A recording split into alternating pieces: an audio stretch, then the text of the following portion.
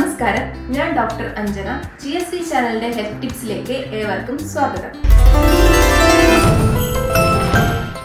നമുക്കറിയാം ഇപ്പൊ നാട്ടിൽ പ്രത്യേകിച്ച് വടകര ഏരിയയിലൊക്കെ സമ്പർക്കം മൂലം കൊറോണ ഇങ്ങനെ പടർന്നു പിടിച്ചുകൊണ്ടിരിക്കുകയാണ്. ഈ ഒരു സാഹചര്യത്തിൽ കൊറോണ വരാതിരിക്കാൻ നമുക്ക് ചെയ്യേണ്ട പത്ത് കാര്യങ്ങൾ എന്തൊക്കെയാണെന്ന് നോക്കാം. ഒന്നാമത്തെ കാര്യം അമിത ആത്മവിശ്വാസമാണ്. നമ്മളിൽ പലർക്കും ഒരു ചിന്തയുണ്ടാവും. അതായത് എനിക്ക് കൊറോണ വരില്ല എന്നുള്ള കാര്യം. പക്ഷെ അങ്ങനെയല്ല കൊറോണ ആർക്കും വരാം. അപ്പോൾ ഇങ്ങനെ ഒരു ആത്മവിശ്വാസത്തെ നമ്മൾ മാറ്റി നിർത്തിയതിനു ശേഷം നമ്മുടെ ആരോഗ്യ പ്രവർത്തകരും സർക്കാരും പറയുന്ന കാര്യങ്ങൾ നമ്മൾ അനുസരിക്കുക. രണ്ടാമത്തെ കാര്യം മാസ്ക് ധരിക്കുക എന്നുള്ളതാണ്. നമ്മൾ വീട്ടിൽ നിന്ന് പുറത്തേക്ക് ഇറങ്ങുമ്പോൾ തീർച്ചയായും ഒരു മാസ്ക് ധരിക്കണം. അതല്ല നിങ്ങൾക്ക് ഒരു ആൾക്കൂട്ടമുള്ള സ്ഥലത്തേക്ക് പോവുകയാണെങ്കിൽ സർജിക്കൽ മാസ്ക് ധരിക്കുന്നതായിരിക്കും കൂടുതൽ നന്നാവുക. ഇനി ഒരു മാസ്ക് എങ്ങനെ ധരിക്കുന്നത് നമുക്ക് നോക്കാം. ഒരു മാസ്കിന് രണ്ട് പ്രതലമുണ്ട്. അതായത് ഒരു നീലവശവും അതേപോലെ ഒരു വെള്ളവശവും. അപ്പോൾ ഈ വെള്ളവശം ഉള്ളിലേക്ക് വരുന്ന രീതിയിലായിരിക്കണം നമ്മൾ മാസ്ക് ധരിക്കേണ്ടത്. ഇങ്ങനെയാണ് മാസ്ക് ധരിക്കേണ്ടത്.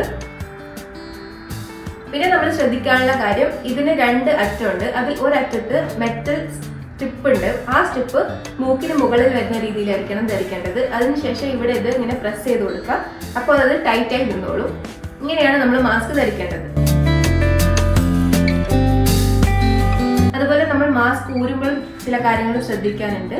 ഇത് ഇതുപോലെ ഒന്ന് ഇവിടെ പിടിക്കുക അല്ലെങ്കിൽ പിടിച്ച് വലിച്ച് കളയാനൊന്നും പാടില്ല. കാര്യം ഈ ഭാഗങ്ങളിലൊക്കെ രോഗാണുക്കൾ നിറഞ്ഞു നിൽക്കുന്ന സ്ഥലമാണ്. അപ്പോൾ നമ്മൾ എങ്ങനെയാണ് ഇത് ഊരേണ്ടതെന്ന് വെച്ചാൽ ഈ രണ്ട് സൈഡിൽ ഇയർ ത്രെഡ് ഉണ്ട്. ഇത് മെല്ലെ പിടിച്ച് ഇതാ ഇതുപോലെ വേണം ഇത് ഊരിയെടുക്കാൻ. പിന്നെ ഇത് നമ്മൾ ഡിസ്പോസ് ചെയ്യുക ഒരു തവണ ഉപയോഗിച്ച മാസ്ക് വീണ്ടും ഒരിക്കലും ഉപയോഗിക്കാൻ പാടില്ല. കാര്യം കൈകൾ നന്നായി കഴുകി വൃത്തിയാക്കുക എന്നുള്ളതാണ്. നമ്മളിപ്പോൾ പുറത്ത് പോയി തിരിച്ച് വന്ന ഉടനെ തന്നെ സോപ്പോ അല്ലെങ്കിൽ ഹാൻഡ് ലിക്വിഡോ ഉപയോഗിച്ച് ഇരുപത് സെക്കൻഡ് കൈ നന്നായി കഴുകി വൃത്തിയാക്കണം. നാലാമത്തേത് വ്യക്തി ശുചിത്വം എന്നുള്ളതാണ്. ഈ ഒരു സാഹചര്യത്തിൽ പേഴ്സണൽ ഹൈജീൻ വളരെ വലുതാണ്.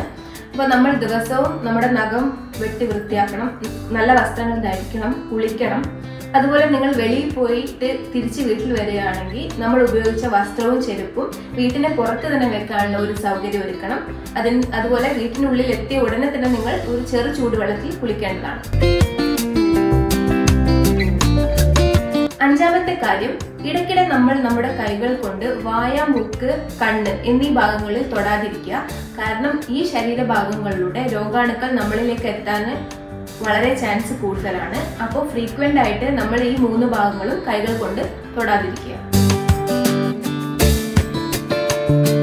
അടുത്ത കാര്യം സോഷ്യൽ ഡിസ്റ്റൻസിങ് എന്നുള്ളതാണ്.